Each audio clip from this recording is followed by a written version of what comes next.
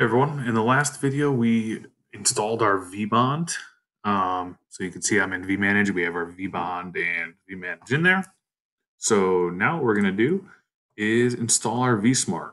Now things are gonna start to look a little repetitive. Um, you go to the GNS3 marketplace, you find the, the vSmart, you install it. I don't think I need to go over this again.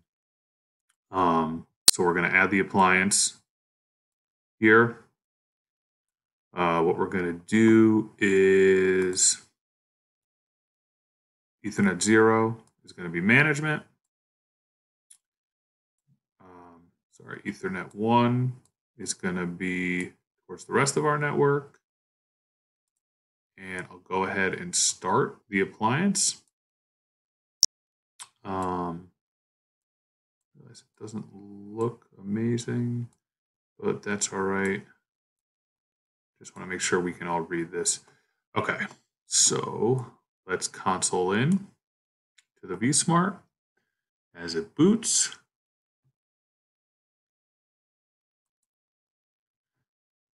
And what I'll do is I'll just quickly pause the video and wait till we get our system ready prompt. And we're back. Now you can see on the screen there is a difference between getting the login and getting system ready. So now that we have system ready, go admin, admin, I'll have you set a password. All right. Now we're in the vSmart. Smart. We have to do the same skinny config that we've been doing. So we go into config system. We're going to call this one vSmart1 system IP it's going to be 1.1.1.2. Org name here. Clock, time zone here. And I got to set the vBond.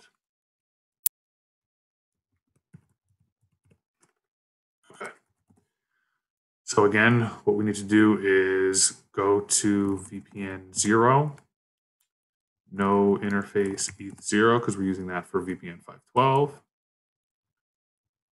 ETH 1, set the IP address. Tunnel interface.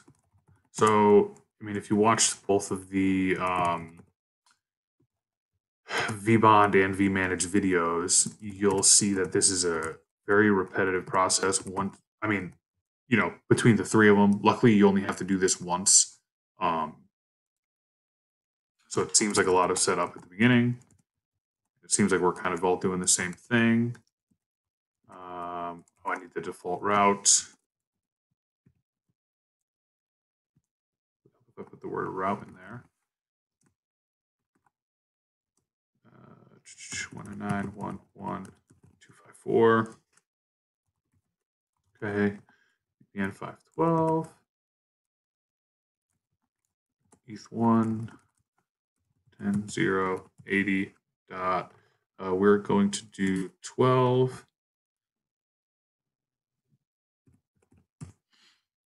24 and no shut commit and quit um, VPN zero values are not unique. Oh. no and ETH one. Sorry about that.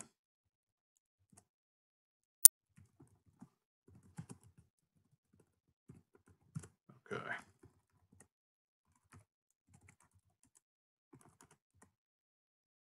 All right.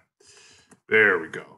So now we can go back into vManage and add controller. And this time we're going to add the vSmart. We set this one to 199112, Username and password. And again, make sure to generate the CSR. All right, so now that that's added in there, we will view the CSR. Uh, sorry, vSmart. Actually, if we go to certificates first, that's my fault. Controllers. We can see no certificate installed for the vSmart. So we'll view CSR. copy this thing here, go to the vmanage shell, and we're going to do the same exact thing we just did for the vbond. So, v vsmart.csr, copy that whole thing in there. All right. And then now you can see we have our vsmart CSR file. What we're going to do is we're going to sign the CSR with the root CA certificate. Um, here's a long command. I'll put it in the description below, just like I did with the other two videos. Well, what we basically did is we took the CSR file, signed it with rootca.pem, rootca.key, created a vsmart.crt file. So what we now need to do is cat the vsmart.crt file and copy it.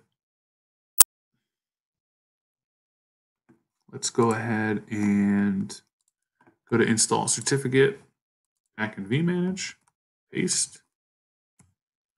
Let's install it.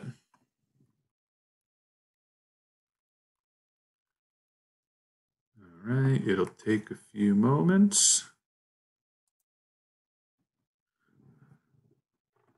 And now we should be good to go. So we can go to our devices, controllers. We have all three of our controllers. The Smart looks like it's still coming up, but it is installed. Um,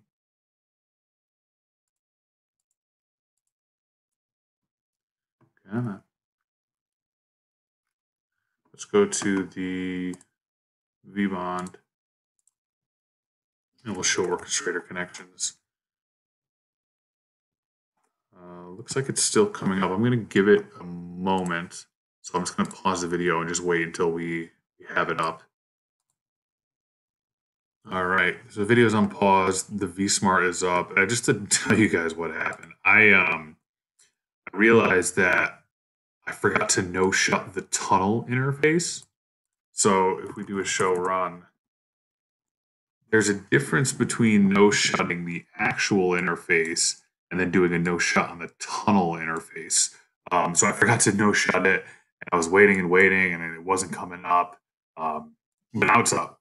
So now we can see that our controllers, all three of them, are up in vManage. So now that our controllers are up, we can actually start to do some of the fun stuff with SD-WAN.